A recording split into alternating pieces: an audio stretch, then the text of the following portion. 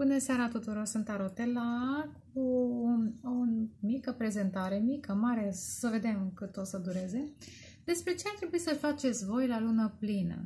Am mai discutat uh, de-a lungul timpului, uh, nu știu de ce n-am reușit să fac uh, scurt asta prezentare, dar știți că am avut și eu problemele mele și de-abia am reușit să fac etalările în ultimii doi ani. Dar am mai spus uh, și am mai discutat că la lună plină și la lună nouă se fac anumite lucruri care ne ajută să manifestăm pașii uh, pe care îi avem de urmat în uh, manifestarea visurilor noastre. La lună nouă punem intențiile, la lună plină manifestăm eliberări și recunoștință. Pentru că e o lună plină, este luminoasă, um, ne încărcăm cu această energie lunară, lunară din plin și într-un mod cât mai pozitiv. Dar ca să putem să ne încărcăm cu cei mai frumos, evident, trebuie să ne descărcăm de ce am strâns până acum. Și nu musai de ce am strâns de la luna nouă până la luna plină, ci de multe reziduri care se fac simțite Uh, în viața noastră reziduri care au rămas de ani de zile neeliberate. Um, și hai să fiu un pic mai la obiect. Am vorbit despre eliberări, da? Și vorbesc despre eliberări. Eu cum fac? În ce constau aceste eliberări? Mulți probabil că le-ați auzit în stânga și în dreapta. Alții posibil că de-abia acum le auziți sau vi se confirmă că uite și tarotela face ce face X, Y și ar fi cazul să încep și eu să fac. Bine, eu nu fac chiar tot timpul, deși au fost ani în care am făcut tot timpul. Și mă pregătesc să încep un nou uh, program uh, mult mai ordonat de eliberări și manifestări. Dar uh, eliberările astea sunt foarte necesare pentru că ne ajută în uh, curățarea karmei, despre care am vorbit și la prezentarea anterioară, uh, mai ales uh, cei care ați avut contacte cu diferite persoane și știți că ați adunat și din karma lor, nu doar karma voastră, nu doar karma familiei, da? Și din karma partenerilor, dar o să ajungem și la punctul ăla. Deci ce fac eu de obicei la lună plină? Evident că la orice lună plină și orice lună nouă, frumos ar fi să întâlnim sau să ne pregătim pentru aceste momente speciale cu un pic de curățenie în cameră, un pic de ordine în lucrurile noastre, măcar un pic, măcar la lună plină și lună nouă, nouă pentru cei care sunteți mai dezordonați, dar evident că acest lucru ar trebui să fie făcut periodic. Uh, nu să așteptăm două săptămâni pentru ordine în casă, dar poate că facem mai mult decât de obicei sau aranjăm anumite departamente pe care le-am lăsat așa un pic mai uh, le-am ignorat uh, în ultimile săptămâni. Deci începe cu o mică curățenie, mică, mare, cum puteți. Dar frumos ar fi să fie curățenie fizică. Aspirat în casă, ordonat lucrurile. Apoi, nu musai uh, în perioada de noapte, se poate face și ziua, dar evident că um, ce faceți noaptea, fiind o energie lunară, um, în preajmă, nu solară, ceea ce faceți va fi susținut de această energie feminină mai bine decât de energia masculină. Dar evident că puteți să faceți și ziua și noaptea. Eu sugerez că de seară până spre dimineața puteți să faceți eliberările despre care mă pregătesc acum să vorbesc. Ceea ce fac eu. Ce înseamnă eliberare? Înseamnă să conștientizați că e cazul să încheiați un anume fel de a gândi, un anume fel de a simți, experiențe cu X, cu Y, uh, să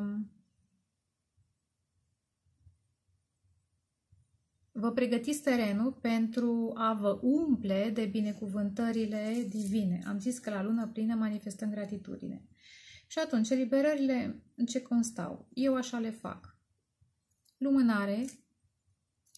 Nu țin cont uh, atât de mult de culoare, dar dacă voi vreți să fiți exagerați, uh, puteți să țineți cont de culoare. Dar eu zic că orice lumânare, și dacă e de la biserică e și mai bună, da? Orice lumânare este binevenită și este foarte importantă. Pentru că simbolizează Duhul Sfânt, lumina divină care ne susține în acest descătușare, în această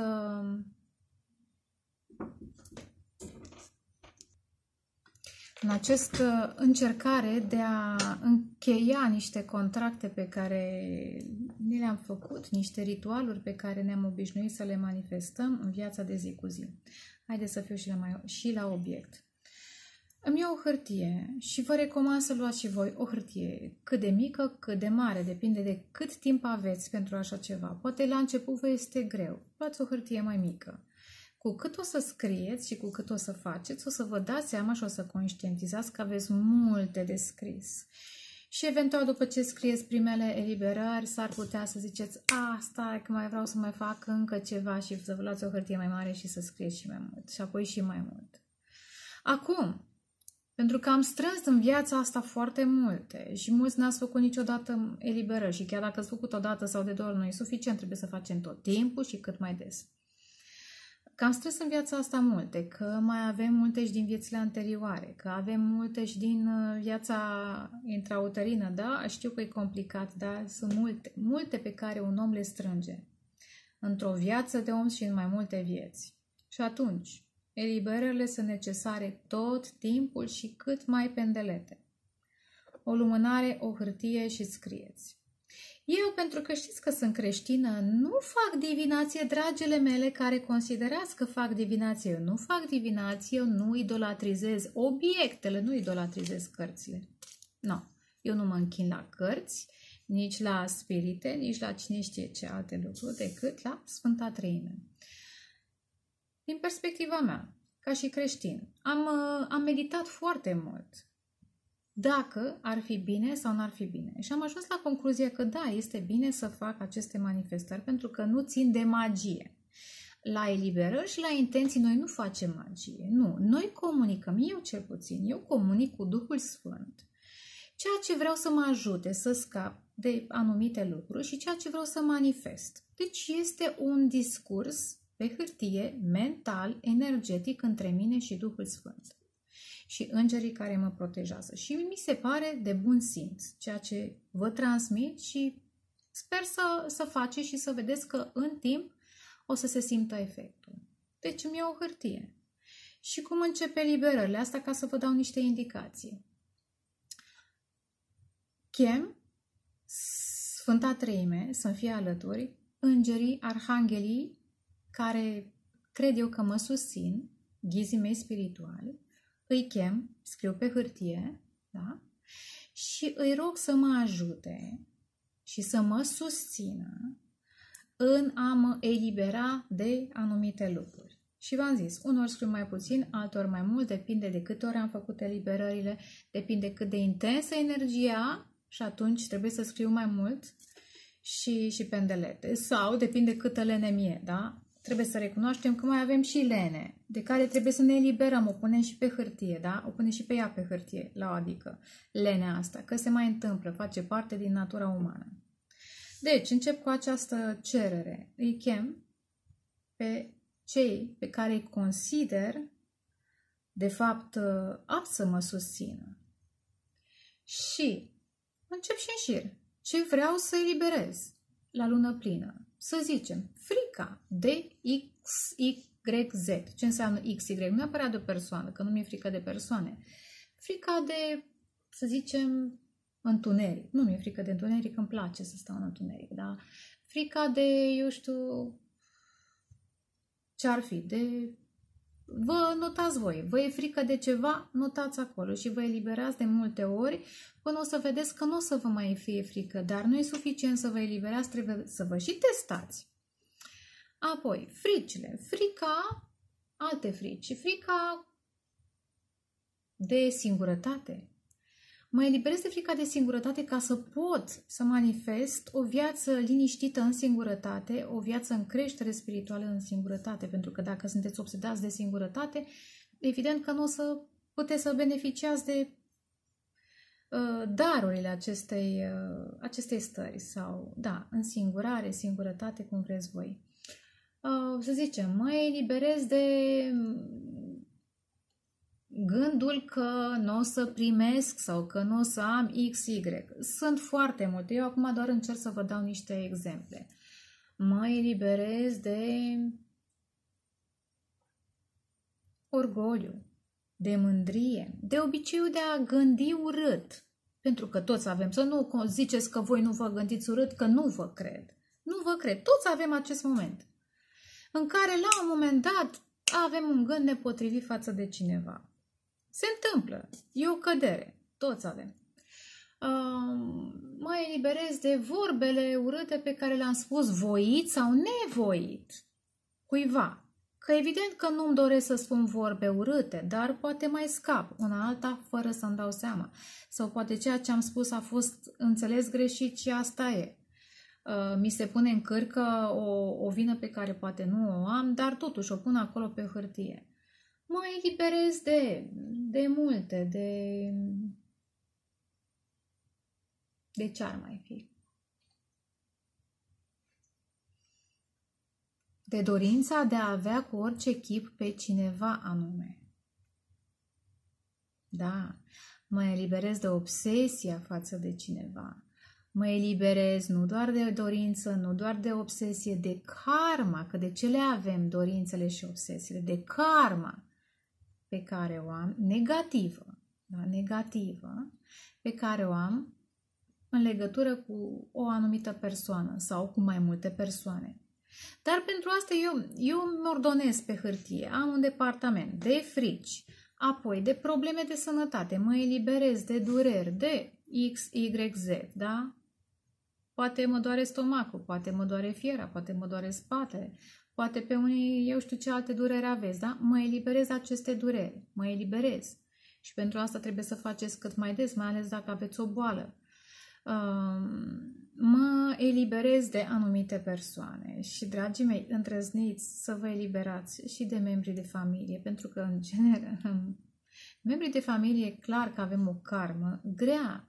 Bine, la unii poate să fie mai ușoară, dar mă cam îndoiesc. În general, karmele de familie sunt grele. Și atunci asta nu înseamnă că nu vă mai vorbiți cu membrii familiei. Nu, înseamnă că vă eliberați de karmă. Da? Pentru că într-o familie se întâmplă foarte multe. Oamenii vorbesc uneori nepotrivit în familie sau acționează într-un anume fel și ne rănesc, avem impresia că ne părăsesc și de fapt încearcă și ei să-și trăiască viața și noi judecăm în fel și chip. Deci uh, puneți uh, și, și părinții și frații pe această listă fără să vă fie teamă că nu o să mai vorbiți cu ei. Nu. Vă eliberați de karma pe care o aveți uh, împreună cu aceste persoane. Vă puteți elibera de karma pe care ați avut-o cu niște persoane dragi care s-au dus.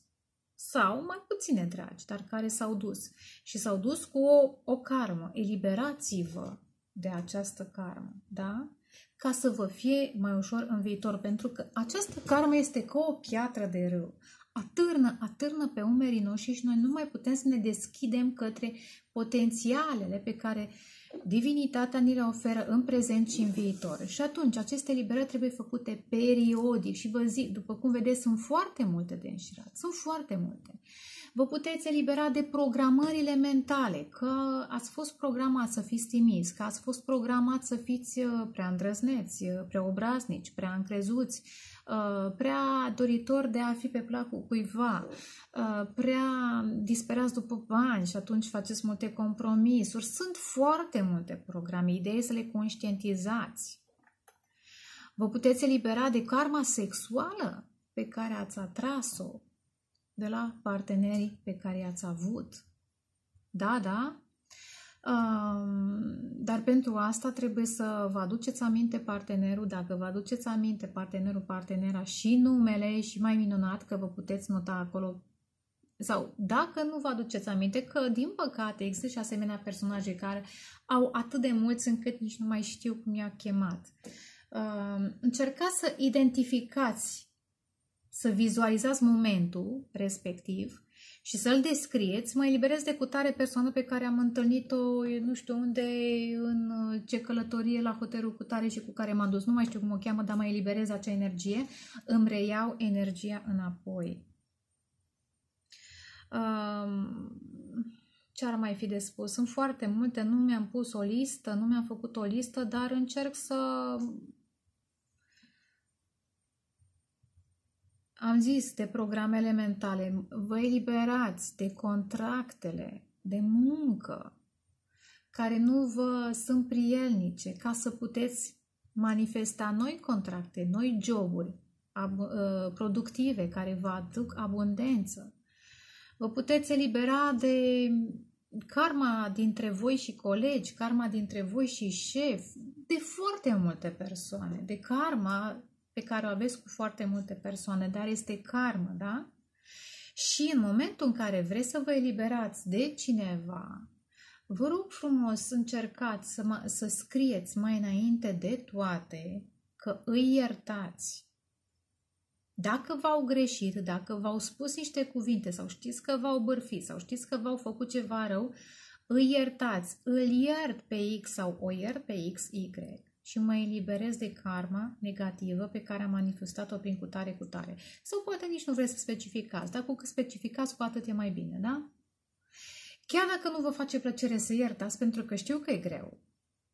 Și uneori când oamenii te rănesc rău, este foarte greu să ierți, dar faptul că scrieți pe hârtie este o confirmare a faptului, confirmare în scris, este un contract între voi și divinitate, că vă străduiți să iertați. Și divinitatea, văzând această strădanie, vă va susține în acest proces de iertare și de vindecare și de eliberare. Pentru că nu puteți să vă vindecați și să iertați dacă nu faceți aceste eliberări. Cine n-a făcut asemenea eliberări, greu de crezut că a iertat. Poate că a uitat, dar nu a iertat în totalitate. Eu nu cred lucrurile astea. În fine, deci am zis că este foarte necesară această eliberare. Și sunt foarte multe de scris. Uh, v-am zis, cu cât conștientizați, cu atât puneți mai multe pe hârtie. Este o persoană, să zicem, cu care, la care ați visat, uh, ați fi vrut să se manifeste ceva și ați rămas așa cu un nod în gât și cu o, o strângere de inimă și toți ați așteptat, ați așteptat, ați așteptat, ați așteptat și eliberați-vă de așteptare. Eliberați-vă de așteptări în general și eliberați-vă de așteptare față de această persoană. Iertați-o, iert pe X că că îl iert pe X. Uh, poate că a făcut ceva, poate că n-a făcut nimic. Nici așa nu-i bine să nu faci nimic, că așteptările sunt mari. Vedeți voi de ce trebuie să iertați da? și să vă eliberați de această karmă. Și în momentul în care faceți acest lucru, veți vedea că vi se ia de fiecare dată o greutate de pe suflet și, repet, veți putea comunica cu aceste persoane în continuare, dar fără acea greutate care a stat atâta timp pe umerii voștri și în sufletul vostru și în mintea voastră. Ok, am zis că sunt foarte multe de scris. Frumos ar fi la fiecare lună plină să studiați în ce, în ce zodie este această lună ca să veniți cu niște uh, vibrații specifice zodiei respective. De exemplu, acum este lună plină în fecioară, da? Și fecioara reprezintă casa muncii, a ritualurilor de zi cu zi, a serviciului pe care îl, îl facem față de cei apropiați de comunitate, uh, reprezintă sănătatea, Casa Sănătății, iar eliberări de dureri, de boli, de contracte, de locuri de muncă, de colegi, de joburi care nu vă sunt uh, potrivite, dar, evident, nu specificați doar asta, adăugați și toate celelalte despre care am vorbit. Am uitat un lucru. Am uitat un lucru. Am zis, unii au puterea de a manifesta lucrurile mai repede. Alții mai greu. Dar cu cât faceți, cu atât manifestați ceea ce v-ați propus. um, puteți pe aceste, eliber, uh, pe aceste hârtii de eliberări să spuneți că vă eliberați de blestemele care v-au fost aruncate foarte important, de cuvintele grele care v-au rămas în minte și în suflet, care v-au fost aruncate de anumite persoane, poate nici nu vă mai aduceți aminte, să face parte și din programări și din eliberările de persoană. E undeva între, da? Să vă eliberați de vrăjile, de, eu știu, făcături, cum se zice, magia neagră pe care unii credeți că sau, sau unii credeți că v-a fost făcută de anumite persoane sau poate nici nu știți persoanele, vă eliberați aceste lucruri și, dragii mei, nu uitați să specificați la anumite capitole um, din viața asta și din viețile anterioare. De exemplu, să zicem, la blesteme. Mă eliberez de bestemele care mi-au fost aruncate în această viață și în viețile anterioare. Mă eliberez de blestemul familial, de karma familială. Da? Din viața asta și din viețile anterioare, că poate e o karmă a familiilor în care v-ați manifestat și în alte vieți. Da? De programele mentale din viața asta și din viețile anterioare.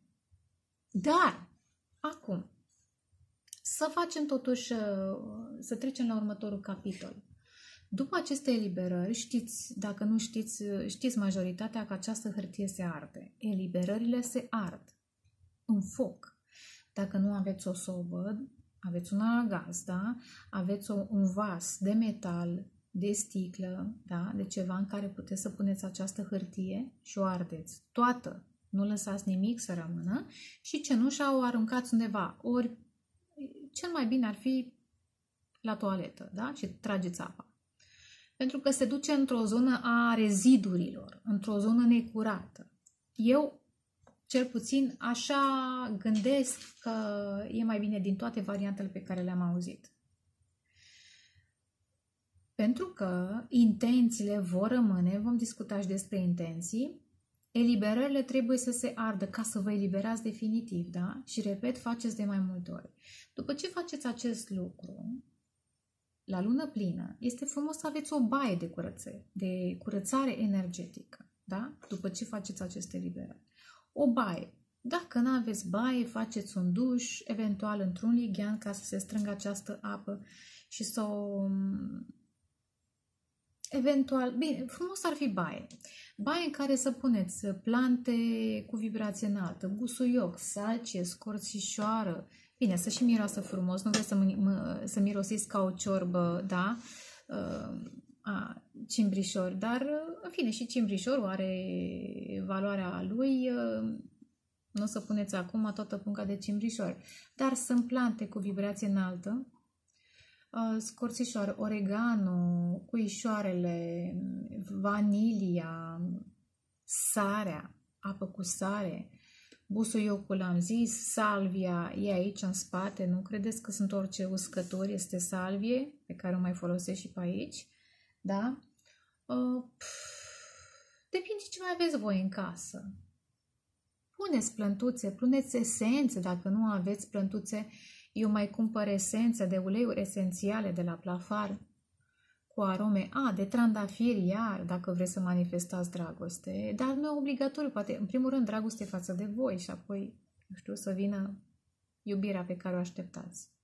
Dar cum să vină ceva frumos dacă voi sunteți încărcați de acest trecut și de aceste de energii pe care toți le avem, toți le strângem, toți, toți, toți. Am zis, o baie de curățare cu sare și cu plante și cu diferite arome. Da, mie îmi place și cu lumânări, dacă vă place, dacă vă permiteți, lumânări în timp ce faceți baie și mai frumos. Dacă vă permite să ascultați o muzică relaxantă, ceva, eu știu, de meditație, de curățare, de eliberare, că sunt o grămadă pe internet, puteți să ascultați în timpul ăsta și în timp ce scrieți și în timp ce faceți baie. Muzică de eliberare, de energie negativă. Apoi, după ce ați făcut baia, ultima și la fel de important, ultimul lucru și la fel de important este să manifestați gratitudine, mulțumire, recunoștință pentru ceea ce aveți. Pentru că dacă nu manifestați mulțumire, nici nu o să primiți, pentru că Universul gândește, dar de ce să-i dau dacă nu, da, dacă nu e mulțumit, mulțumită cu ce are? De ce să-i dau mai mult? Pentru că e o vorbă în Biblie, celui care are, îi se mai dă, celui care n-are, îi se ia. Și oare de ce? Pentru că dacă manifesti gratitudine, Universul, energia din jur, simte că atragi, că vrei.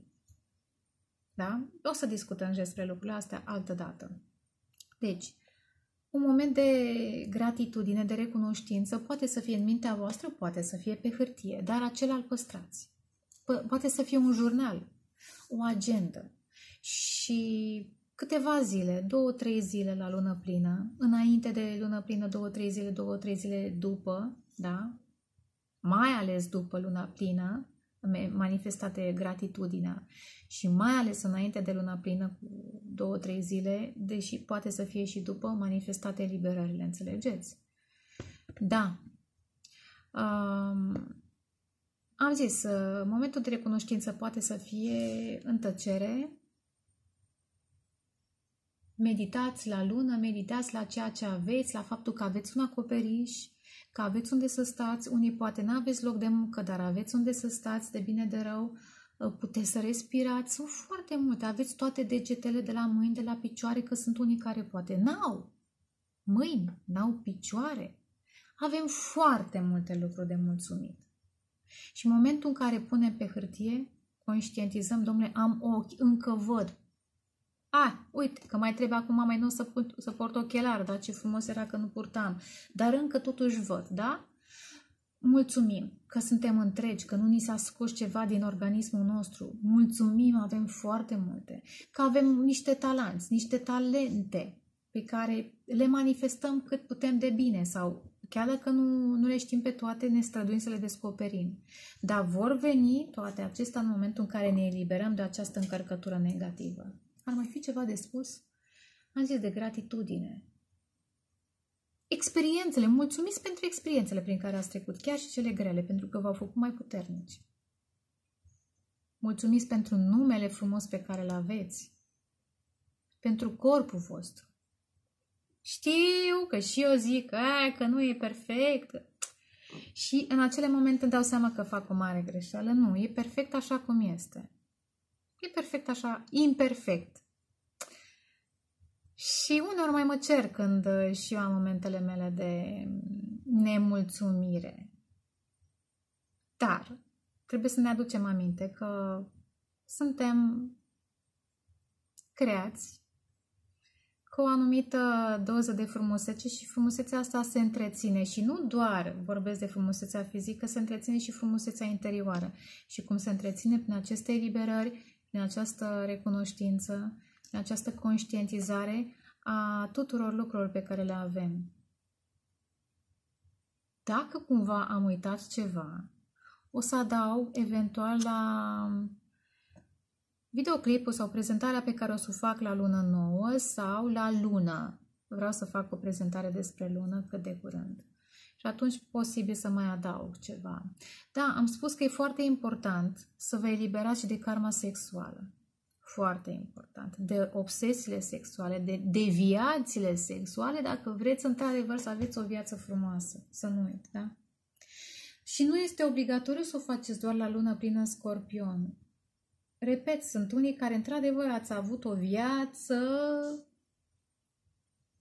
nu tocmai corectă, și dacă vreți să manifestați uh, o iubire adevărată și o viață pe alte principii, da? Trebuie să faceți și eliberările de această karmă sexuală și în momentul în care, apropo, aici, la capitolul acesta cu karma sexuală, uh, trebuie să treceți numele, bine ar fi să știți numele partenerului, partenerei și să iertați să vă eliberați de karmă și să vă luați energia înapoi. Pentru că, mai ales dacă simțiți că vi s-a luat energie în momentul actului sexual. Pentru că în timpul actului sexual se poate manifesta încărcare de energie sau vampirizare de energie. Iar un alt capitol, iar un alt subiect despre care sper să vorbesc, da? Și atunci, dacă simțiți că vi s-a luat Dacă simțiți că vi s-a luat, îl iertați, vă eliberați de karma respectivă și vă luați energia înapoi. Și la fel se, ă, ar fi bine să faceți și pentru acele personaje cu care nu ați fost, dragii mei, nu ați fost, dar ați visat, ați fost în alte dimensiuni și ce ați făcut acolo nu mai voi știți, dar v-ați făcut acolo o karmă. Dacă este un personaj, sunt mai multe personajele care ați visat, la care ați avut, da, fantezii sexuale, eliberați-vă de acele, uh, acele momente, pentru că în acel moment ați vampirizat foarte posibil pe cineva și trebuie să vă iertați pe voi că ați vampirizat, pentru că de multe ori se simte ce se face, da? Când vă gândiți la cineva, persoana respectivă simte. Chiar dacă nu o să simtă atracție sexuală, s-ar putea să simtă o scurgere de energie și voi nici nu conștientizați ce faceți, mai mulți. Mulți nu conștientizați. De-aia zic, este foarte important și liberarea de karma sexuală. Și chiar dacă n-ați fost cu cineva și știți că ați avut fantezii față de acea persoană, ați vampirizat-o energetic, energia sexuală, puneți pe hârtie, cereți-vă iertare și oferiți energia înapoi dacă știți că ați vampirizat și dacă știți că ați fost vampirizați, luați-vă energia înapoi. Hmm, deja am vorbit o jumătate de oră, nu? Cam atâta. Dacă e ceva, repet, o să mai vorbesc și la lună nouă și la lună. Însă, însă, neapărat la lună plină, gratitudine, mai, gratitudine, gratitudine ca să puteți să vă bucurați de ce vă pregătește Universul. Dumnezeu, mai, Dumnezeu, nu Universul. Sunt mai frumos. Sunt mai special. Dumnezeu. Cam atât deocamdată. Dragoste, pace, creștere spirituală și vă pup. Pa, pa, pa!